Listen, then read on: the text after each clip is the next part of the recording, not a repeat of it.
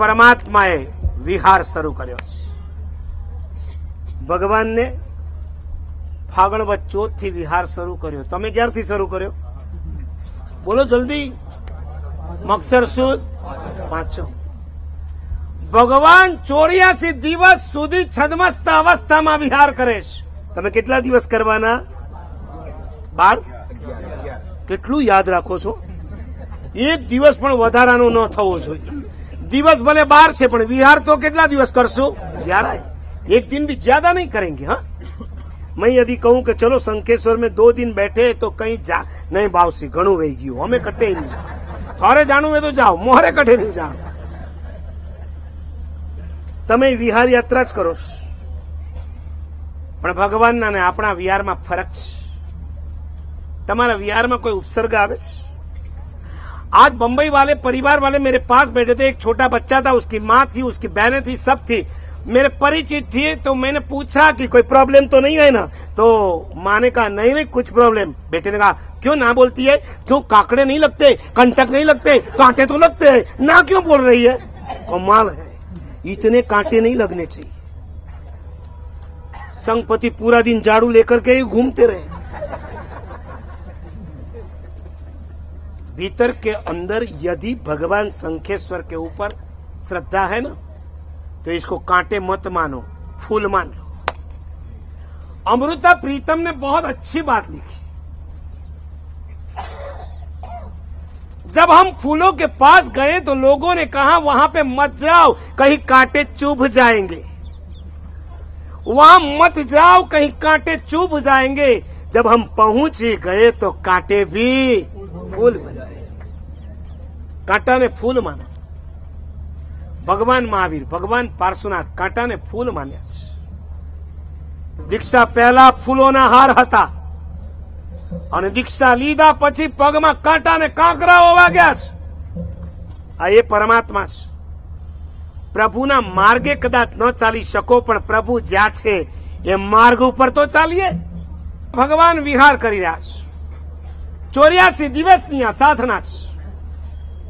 એક ધન્ય દિવસ આવીને ઊભો છે. પોષ વધી અગિયારસના દિવસે પ્રભુએ દીક્ષા લીધી છે. પહેલી જાન્યુઆરી આવશે ને, એ ભગવાનનો દીક્ષા દિવસ. ચોર્યાસી દિવસ પૂરા થયા એટલે ફરી એકવાર ફાગણ ચોથ આવીને ઊભી છે. અને પરમાત્મા ધ્યાનની અંદર છે. ઇન બિટવીન કમઠનો ઉપસર્ગ થયો મેઘ માળી બનીને પ્રભુએ એને સહન કર્યો. તમને કોઈ ઉપસર્ગ આપે છે? જલ્દી બોલો આપણા સંઘમાં કોઈ મેઘમાળી છે નથી ને? પાક્કું પાક્કું એને પાણીનો ઉપસર્ગ કર્યો તમે આજે આવ્યા ત્યારે તમારી ઉપરથી પાણી નહોતું તમારી બાજુમાં પાણી કોઈ ઉપસર્ગ તો નહોતો કરતું ને लेकिन मैंने सुना कि कोई सेल्फी ले रहा था ऐसा धंधा मत करो कभी सेल्फी लेते लेते सेल्फी चली जाएंगी ગઈ ભેંસ ચલે જાઓગે. ભગવાને ઉપસર્ગની વચ્ચે પણ સંભાવ રાખ્યો. ચોર્યાસી દિવસની સાધના પૂરી થઈ અને એક મંગળ દિવસે આ પરમાત્માને શું થયું? ચાર ઘનગાતી કર્મનો ક્ષય થતાની સાથે કેવળ જ્ઞાન થયું? બોલો પાર્શ્વનાથ! કલ્યાણક ચોથું અને જ્ઞાન પાંચમું થયું એવા પરમાત્મા.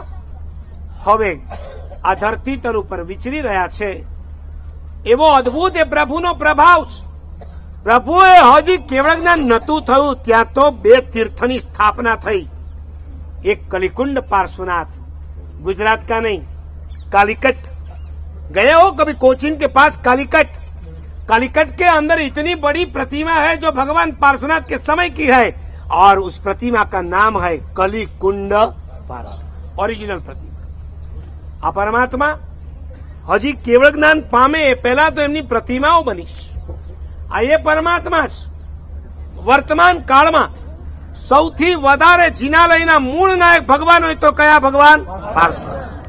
વર્તમાન કાળમાં ચોવીસ તીર્થંકરમાં સૌથી વધારે પ્રતિમા હોય તો કયા ભગવાનની?